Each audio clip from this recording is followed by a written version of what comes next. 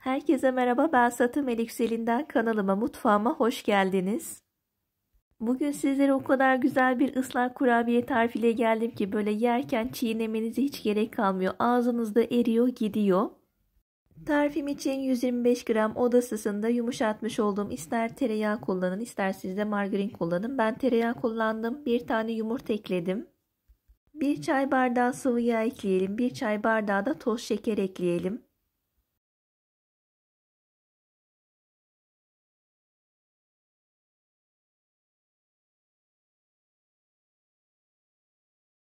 Bir paket de vanilya ekledikten sonra elimle böyle yağımı iyice böyle yumuşatıyorum ve bütün malzemeler özleşene kadar da karıştırıyorum. Burada bir yandan karıştırırken sizlere kurabiye hakkında da bilgiler de vereyim. Bu tarifimizi isteğe bağlı bir gün öncesinden yapabilirsiniz. Aynı tarifi uygulayıp içine böyle dolgular yapabilirsiniz. Ben Hindistan ceviziyle de yapmıştım. Çok da beğenmiştiniz. Kanalımda tarifi mevcut. Gerçekten yiyen herkes çok ama çok beğeniyor. Mutlaka denemenizi de öneririm. Böyle brownie lezzetinde ıslak ıslak harika bir kurabiye oluyor. İsteğe bağlı hamurunun böyle lezzetini artırmak için fındık kırığı ekleyebilirsiniz. Bütün malzemeleri çok güzel bir şekilde karıştırdım görmüş olduğunuz gibi. Üzerine 4 yemek kaşığı kakao ekliyorum. Un olarak da ben 3 su bardağı un kullandım ama herkes de farklılık gösterebilir. O yüzden kontrollü bir şekilde ekleyin. Bir pakette kabartma tozu ekleyin.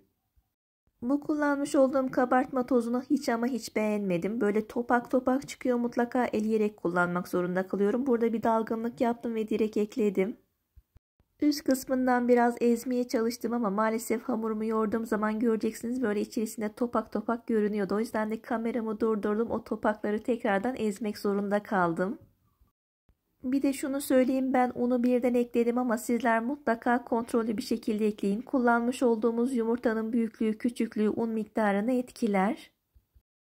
Hatta şunu da söyleyeyim kullanmış olduğunuz tereyağının odasısındaki yumuşamış hali bile un miktarını etkiliyor. O yüzden mutlaka kontrol ekleyin. Bir de un markası herkeste farklı oluyor. O yüzden mutlaka son bardağı kontrollü bir şekilde ekleyin. Hamurumun kıvamı gerçekten çok güzel oluyor. Ama söylemiş olduğum gibi kabartma tozu maalesef hamurun içerisinde görünüyor. O yüzden de bu kısımda iyice yoğurduktan sonra sizlere kıvamını gösterdim. Sonra kameramı durdurdum. Bu topak görünenleri de ezmek zorunda kaldım.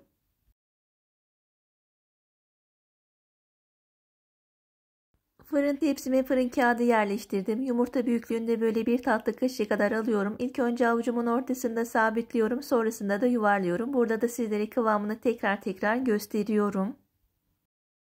Vermiş olduğum ölçülere göre de toplamda 20 tane kurabiye elde etmiş oluyoruz. Tamamını şeklini verdikten sonra da önceden ısıtılmış 170 derece alt üst ayar fırınımıza verelim.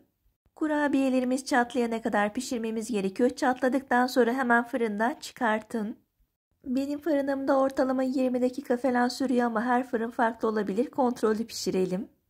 Fırından çıkartı çıkartmaz da şerbet ile buluşturmamız gerekiyor. Bir su bardağı ılık süt. Bir su bardağı da toz şekerimizi böyle karıştıralım. Sütümüzün sıcaklığı da yoğurt mayalar kıvamında oluyor. Biraz önce zaten parmağımı batırarak sizlere göstermeye çalıştım. Şekerimiz eriyene kadar karıştıralım.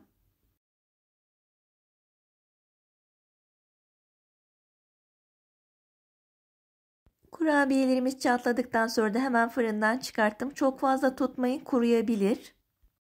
Hazırlamış olduğumuz şerbetimiz şu anda oda ısısında soğumuş bir şekilde. Orta kısmını boşalttım. Sıcak olan kurabiyelerimizi şerbetin içerisine atalım. Kurabiyemizin her tarafına şerbetin geldiğinden emin olduktan sonra da böyle çatal yardımıyla kaldıralım. Sonrasında da bir tepsi içerisine alalım. Ben bugün tamamını şerbetledim ama isteğe bağlı bunu yaptıktan sonra soğuduktan sonra buzluğunuza kaldırabilirsiniz. Şerbetlemeden koymanızı öneririm. Şerbetli bir şekilde koyduğunuz zaman çok güzel olmuyor. Bunu denedim ama kuru bir şekilde koyduğunuz zaman daha iyi oluyor. Saklama kabına koyduktan sonra buzluğunuza kaldırabilirsiniz. Ortalama 3 aya kadar da dayanıyor. Taze bir şekilde yaptığımız zaman şerbetini soğuk bir şekilde kullanıyoruz. Yani oda ısısında. Tatlımızı da sıcak bir şekilde kullanıyoruz. Buzluktan çıkarttıktan sonra da tam tersini yaparsınız. Daha detaylı bir şekilde söylemek gerekirse kurabiyeyi çıkarttıktan sonra buzu çezilsin. Hazırlamış olduğumuz şerbetimiz de böyle sıcaktan ılık ılıktan sıcak olmalı. Tamamını şerbete buladım. Görmüş olduğunuz gibi sütümüz kaldı. Bunu da üzerine böyle kaşık kaşık dökelim. Bu işlemden sonra da 2-3 saat kadar dinlendirin. Sonrasında da afiyetle yiyebilirsiniz. Ben bu görmüş olduğunuz büyük tepsiyi misafirliğe giderken götürdüm. Gerçekten herkes de çok beğendi. O kadar güzel bir lezzeti var ki böyle damağınızda eriyor gidiyor brownie lezzetinde gerçekten muhteşem bir lezzeti var. Bu tarifimizi isteğe bağlı süt şerbeti değil de normal şerbetle de yapabilirsiniz. Süt yerine su kullanacaksanız da su miktarında yine aynı şekilde bir su bardağı eklersiniz ama çiğ bir şekilde çok lezzetli olmuyor. O yüzden de bir 5 dakikada olsa mutlaka kaynatın.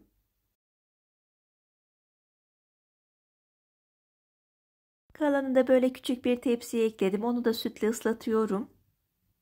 Sonrasında da 2-3 saat kadar dinlendirin. Evinizde yeşil fıstığınız varsa yeşil fıstıkla süsleyin. Yoksa Hindistan ceviziyle süsleyin.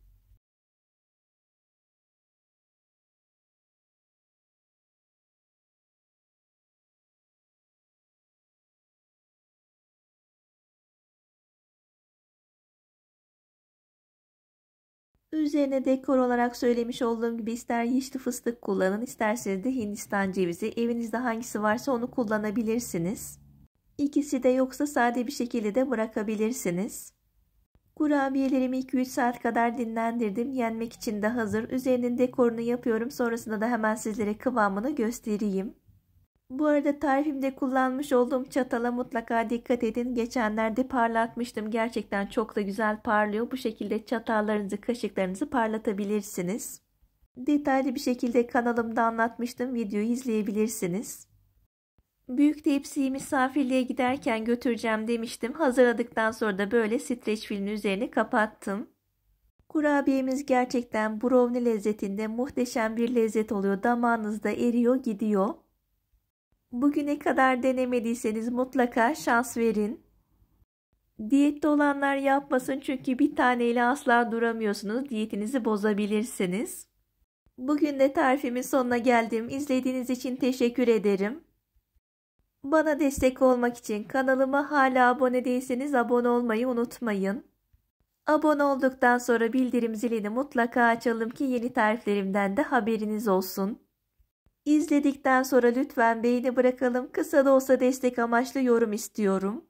Allah nasip ederse yeni tariflerimde, yeni lezzetlerimde görüşmek üzere. Sağlıkla kalın, hoşçakalın.